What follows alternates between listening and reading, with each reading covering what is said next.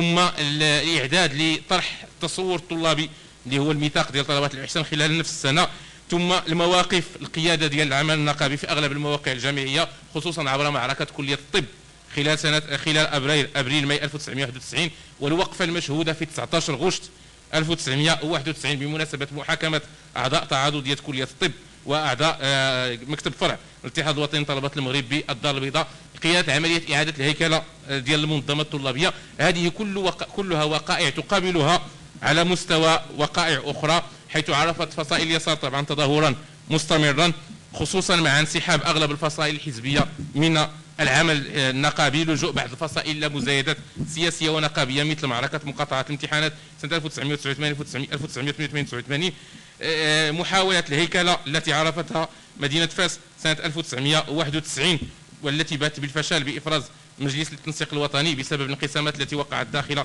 بعض فصائل اليسار هذه كلها وقائع تشكل الأرضية التي على أساسها وقعت محاكمة هؤلاء الإخوة في سنة 1991 هذه الوقائع تجمعت وشكلت لنا صيفا استثنائيا سنة 1991 حيث كان هناك الإعداد الواضح لدخول جامعي استثنائي مفاوضات بين الحكم بل مساومات ساوم بها الحكم. قيادة الجماعة جماعة الإحسان المعتقلة آنذاك حيث حاول النظام فرض تنازلات خصوصا وأن إطلاق سراح المجلس الإرشاد سيكون في بداية سنة 1992 وآنذاك أراد الحكم أن أن يضبط حركة الجماعة التي أصبح وجودها وجودا معروفا ومشهودا له قبل خروج مجلس الإرشاد. في مقابل ذلك كان بعض عناصر اليسار المتطرف بدأت حملة من الاستفزازات ضد الطلبة الإسلاميين جعلوا لها شعارا معلنا في الإعلام الذي هو رفع الحظر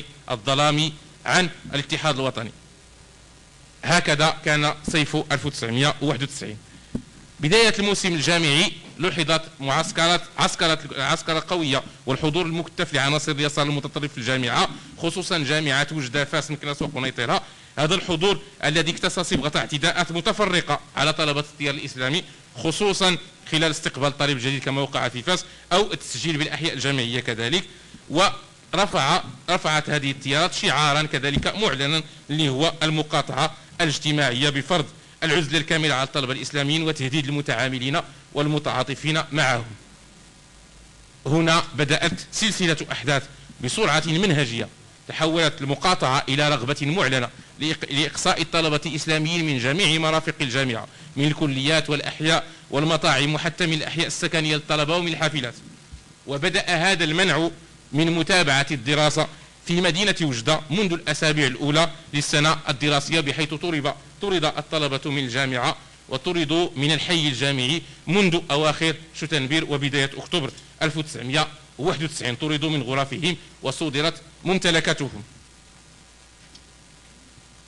طبعا هذه الأحداث لابد أن تبلغ إلى الرأي العام إلى السلطات العمومية إلى الرأي العام آه، المحلي والوطني.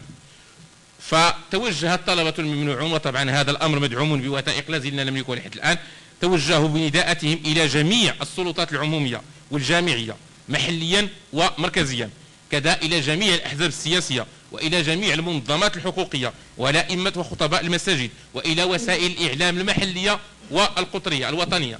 توجهوا إليها بنداءات من أجل رفع هذا الحصار الواقع عليهم والذي حرمهم من متابعة دراستهم بشكل آه، عادي.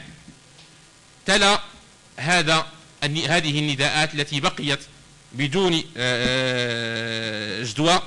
تلا ذلك أن اضطر الطلبة الإسلاميين للدفاع عن أنفسهم عن حقهم في متابعة الدراسة وولوج الجامعة. وهو الأمر الذي تم دون حوادث تذكر. لابد أن نؤكد هذا وهذه طبعا تفاصيل يمكن أن ندرسها بتفاصيلها خصوصا بعد التحاق أغلبية فصائل اليسار بمدينة فاس لتعزيز صفوف رفاقهم هناك.